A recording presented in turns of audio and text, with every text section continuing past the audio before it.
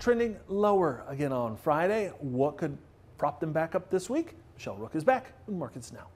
A down day on Friday in the grains. Ag Trader Talks uh, Garrett Toay is back with analysis. And let's talk a little bit about the sell off on Friday. We've had a good rally, obviously, in the green. So was it just profit taking? Did we hit some chart resistance?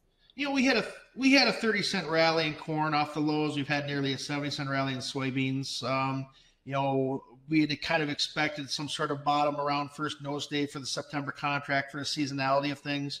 Um, but I do think that the rally may have run its course near term, especially ahead of this crop production report this week.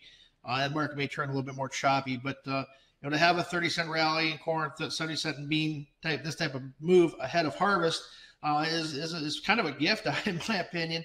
Uh, it shows us how oversold we were and, and how down in the dumps we were.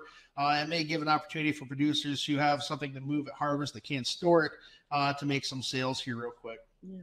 So with the big sell off on Friday, I'm sure you're going to have farmers that say, "Oh man, is the rally over?" What's your thoughts? I I don't think so. Um, I think it may be over for now. Um, like I said, I, am 75%, you know, confident that we've probably put in our lows. Can we have a setback? Absolutely. Um, do we push into new highs between now and October 15th? Mm, probably not. I think you're you're probably looking at a more choppy market over the next 30 to, to 45 days. Um, you know, when do we want to rally again? You know, harvest is 50% complete would be a, a, a, a perfect time. Uh, but right now, it's it's it's uh, it's probably going to turn a little bit more choppy and see what uh, the USDA says as far as uh, what they think uh, the crop size is. Yeah. So you say we've maybe already traded the biggest crop. What is your sense about how slow USDA may, may be though in pulling yields down, if at all, here in the September WASDE coming up? The amount of adjustments lower that I envision are minimal. Um, it's just that, and probably at the end of the day, the fact that we took a little bit off the top end of the crop is probably probably a good thing because because this crop could have been you know a, a big problem uh, from a production side, just massive crops um, if if the trend had continued.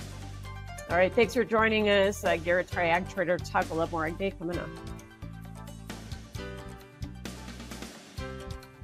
Watch Markets Now with Michelle Rook on the Farm Journal YouTube channel, keeping you updated throughout the day on the markets at the open, midday, and close. Find out what moved the markets today and what to expect the market to do next.